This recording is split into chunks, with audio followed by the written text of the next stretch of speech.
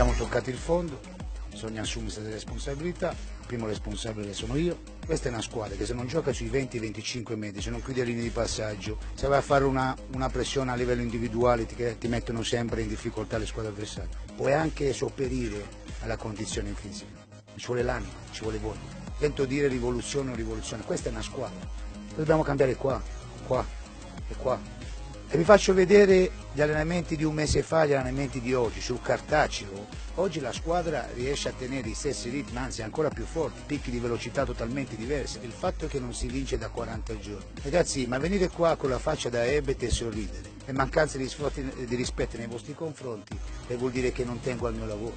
Parte da qua, dalla mentalità sei il campione in delle partite non lo fai arrivare nemmeno nei 10 metri nell'aria, vuol dire che non sei così scarso, vuol dire che sei bravo, vuol dire che quando c'è attenzione e c'è il veleno vuol dire che sei, eh, sei un giocatore forte, sei una squadra forte, allora è la mentalità, oggi bisogna lavorare su quello.